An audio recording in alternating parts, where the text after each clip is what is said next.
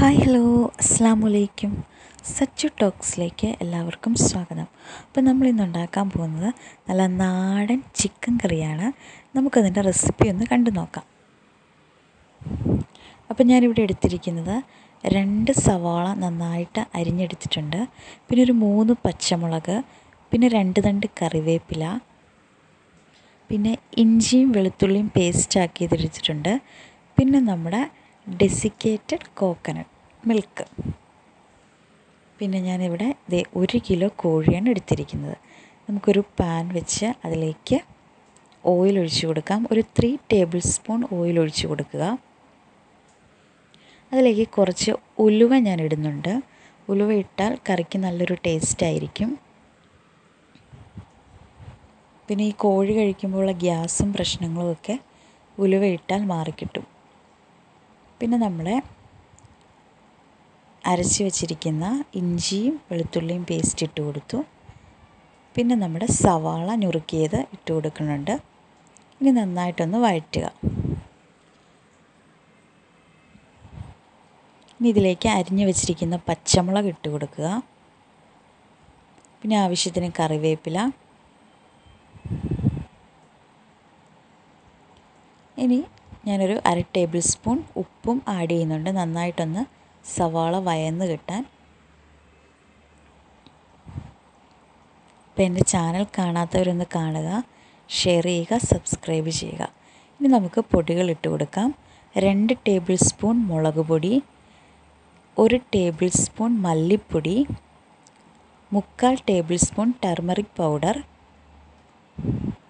പിന്നെ three tablespoon chicken മസാലയും ഞാൻ ഇട്ട് കൊടുക്കുന്നുണ്ട്. ഇതിന് ശേഷം നമുക്ക് ഇതൊക്കെ ഒന്ന് നന്നായിട്ട് ഇളക്കി കൊടുക്കാം. പൊടിയുടെ പച്ചമണം മാറുന്നത് വരെ നന്നായിട്ടൊന്ന് ഇളക്കുക. വളരെ ടേസ്റ്റി ആയിട്ടുള്ള കറിയാണിത്. കാരണം നാടൻ കോഴി ആയതുകൊണ്ട് നല്ല ടേസ്റ്റ് ആയിരിക്കും. പിന്നെ നമ്മൾ ഇവിടെ കഴുകി വെച്ചിരിക്കുന്ന ഒരു കിലോ ചിക്കൻ ഞാനിവിടെ ഇട്ട് കൊടുത്ത് നന്നായി ഇളക്കുന്നുണ്ട്.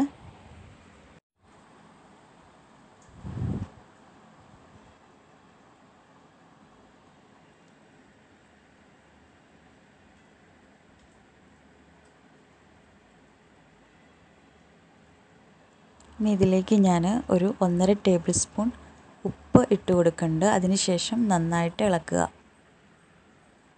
നന്നായി ഇളക്കി ഇതൊന്ന് മൂടി നമുക്ക് വെക്കാം.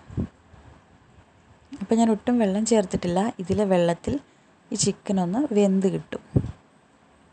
ഇതാ അതിനുശേഷം ഞാനൊന്ന് തുറന്ന് ഒന്ന് ഇളക്കണുണ്ട്. ഇപ്പം കുറച്ച് വെള്ളമൊക്കെ ആയിട്ടുണ്ട്. ഇനി ഇതിലേക്ക് നമ്മുടെ special desiccated coconut milk add ചെയ്ത് കൊടുക്കാം. അതിനുശേഷം നന്നായിട്ട് ഇതൊന്നും കൂടി ഇളക്കുക.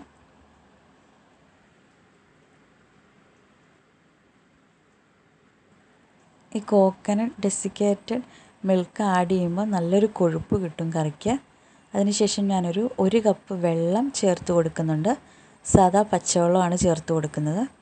അതിനുശേഷം ഇതെല്ലാം കൂടെ ഒന്ന് മിക്സ് ചെയ്ത് നമുക്കിതൊന്ന് വേവിക്കാൻ ഒരു ഹാഫ് ആൻ അവർ വെക്കാം. ആഫ്റ്റർ ഹാഫ് ആൻ അവർ ഞാനിത് തുറക്കുകയാണ്. നമ്മുടെ കറിയെല്ലാം വെന്തിട്ടുണ്ട്. നമുക്കിതൊരു സെർവിങ് ഡിഷ് സെർവിങ് ബൗളിലേക്ക് മാറ്റാം. ഇതാ നമ്മുടെ കറി ഇവിടെ റെഡി ആയിട്ടുണ്ട്. നല്ല സ്വാദിഷ്ടമായ ചിക്കൻ കറി. എല്ലാവരും ട്രൈ ചെയ്ത് നോക്കുക. താങ്ക്